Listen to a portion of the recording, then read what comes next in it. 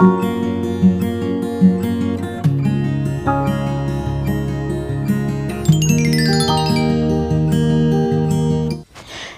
friends welcome to Rose Petals നമ്മൾ ഇന്ന് ഒരു സ്റ്റിച്ചിങ് വീഡിയോ ആണ് കാണാൻ പോകുന്നത്.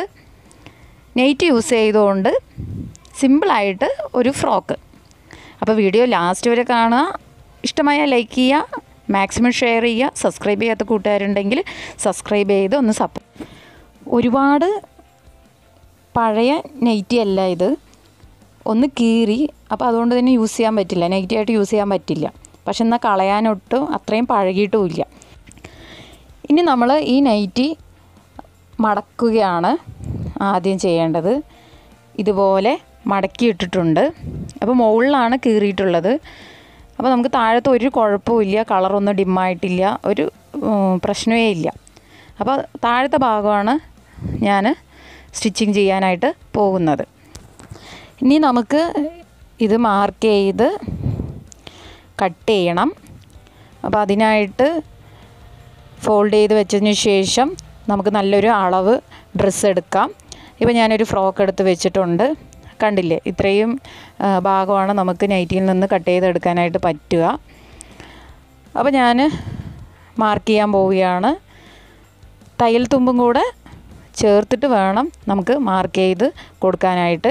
ഇപ്പം ഞാൻ നെക്ക് ആം ഹോൾ അതേപോലെ തന്നെ വേണ്ട ഇറക്കം മാക്സിമം വീതി ഞാൻ എടുത്തിട്ടുണ്ട്. കണ്ടില്ലേ? നൈറ്റിയിൽ നിന്ന് കിട്ടുന്ന മാക്സിമം വീതിയും എടുത്തിട്ടുണ്ട്. അപ്പോൾ ഇനി ഇത് നമുക്ക് കട്ട് ചെയ്ത് എടുക്കണം. കട്ട് ചെയ്യാൻ പോവുകയാണ്. കട്ട് ചെയ്ത് എടുത്തിട്ടുണ്ട് ഇപ്പോൾ. ഇനി നമുക്ക് നെക്ക് അതേപോലെ തന്നെ ആം ഹോൾ ഒക്കെ സ്റ്റിച്ച് ചെയ്യണം. അതിനു മുമ്പ് ഇവിടെ ഈ ഒരു കാര്യം കൂടെ ശ്രദ്ധിക്കാനുണ്ട്. അറ്റത്ത് നമുക്കിതുപോലെ കേവ് ചെയ്തിട്ട് ഒരു രണ്ട് ഇഞ്ച് കേവ് ചെയ്തിട്ട് കട്ട് ചെയ്തെടുക്കണം. അപ്പോൾ രണ്ട് സൈഡും തൂങ്ങി കിടക്കില്ല. അല്ലെങ്കിൽ തൂങ്ങി തൂങ്ങിക്കിടക്കും ഫ്രോക്കൊക്കെ അടിച്ചു കഴിഞ്ഞാൽ ഇനി നമുക്ക് കഴുത്ത് വേണമെങ്കിൽ ഇതുപോലെ സൈഡ് ഒരു കാലിഞ്ച് മടക്കി അടിക്കാം. ആം ഹോളും ഒക്കെ ഇതുപോലെ മടക്കിയടിക്കാം ഷിമ്മീസിലൊക്കെ നമ്മൾ ചെയ്യുന്നത് പോലെ.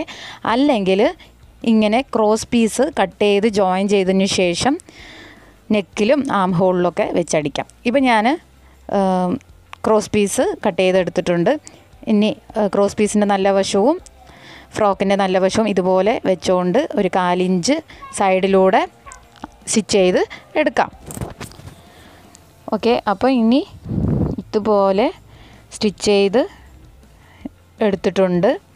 ഇത് കണ്ടില്ലേ? നെക്കിന്റെ ചുറ്റുമായിട്ട് ഞാൻ ഇങ്ങനെ കാലിഞ്ച് വിട്ടുകൊണ്ട് സ്റ്റിച്ച് ചെയ്തെടുത്തിട്ടുണ്ട്. ഇനി ആ കാലിഞ്ചിന്റെ ആ ഭാഗത്തായിട്ട് നമുക്ക് ചെറിയ ചെറിയ കട്ടിങ്സ് കൊടുക്കാം. നല്ല പെർഫെക്റ്റ് ആയിട്ട് നിൽക്കുന്നതിനായിട്ട്. ഇനി ഇങ്ങനെ മടക്കിയിട്ട് ഉള്ളിലോട്ട് വെച്ചുകൊണ്ട് ഇനി സ്റ്റിച്ച് ചെയ്ത് എടുക്കണം. ഓക്കെ അപ്പോൾ ഞാൻ സ്റ്റിച്ച് ചെയ്ത് എടുത്തു അതിനുശേഷം ഇനി നമുക്ക് ആം ഹോളും ഇതുപോലെ ചെയ്യണം. വേണമെങ്കിൽ മടക്കി അടിക്കാം അല്ലെങ്കിൽ ക്രോസ് പീസ് വെച്ചിട്ടും അടിക്കാം. ഞാനിവിടെ മടക്കി അടിച്ചിരിക്കുകയാണ് ചെയ്യുന്നത്. ക്രോസ് പീസ് ആം ഹോളിൽ വെച്ചില്ല. നെക്കിൽ മാത്രം ക്രോസ് പീസ് വെച്ച് സ്റ്റിച്ച് ചെയ്തെടുത്തു. ഇനി രണ്ട് ഷോൾഡറും ജോയിൻ ചെയ്യണം. രണ്ട് ഷോൾഡറും ജോയിൻ ചെയ്ത് എടുത്തതിന് ശേഷം നമുക്ക് ഒരു സൈഡ് ഇതുപോലെ അടിച്ചെടുക്കുക ഫ്രോക്കിന്റെ ഒരു സൈഡ് ഞാൻ മുകളിൽ നിന്ന് ആം ഹോളിൽ നിന്ന് താഴോട്ട് സ്റ്റിച്ച് ചെയ്ത് എടുക്കുകയാണ്. സ്റ്റിച്ച് ചെയ്തെടുത്തു. എനിക്ക് പെട്ടെന്നാണ് ഇത് സ്റ്റിച്ച് ചെയ്യുന്നതിന് ഇടയിൽ കൂടെയാണ് ഒരു ഐഡിയ വന്നത്. കാര്യം എന്ന് വെച്ചിട്ടുണ്ടെങ്കിൽ നമ്മൾ മാക്സിമം നൈറ്റിയിൽ നിന്നുള്ള വീതി എടുത്തിട്ടുണ്ട്. സ്റ്റിച്ച് ചെയ്യുമ്പോൾ ഫ്രോക്കിന്റെ വീതി നല്ലതുപോലെ കിട്ടിയിട്ടുണ്ട്. അപ്പോൾ ഞാൻ കരുതി ഇനി അത് വെറുതെ കട്ട് ചെയ്ത് വേസ്റ്റ് ആക്കുന്നതിനേക്കാളും നല്ലത്. ഒരു വേസ്റ്റ് എലാസ്റ്റിക് ഡ്രസ്സാക്കി മാറ്റാം എന്ന് ഞാൻ വിചാരിച്ചു. അങ്ങനെ കാലിഞ്ച് വീതിയുള്ള എലാസ്റ്റിക് ഞാനിവിടെ എടുത്തിട്ടുണ്ട്. ഷെയ്പ്പിന്റെ ഭാഗത്താണ് ഈ എലാസ്റ്റിക് വലിച്ചു പിടിച്ച് നമുക്ക് സ്റ്റിച്ച് ചെയ്ത് കൊടുക്കേണ്ടത്.